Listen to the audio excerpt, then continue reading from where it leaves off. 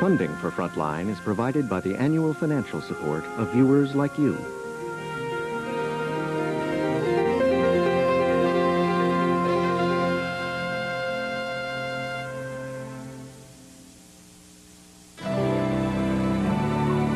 This is...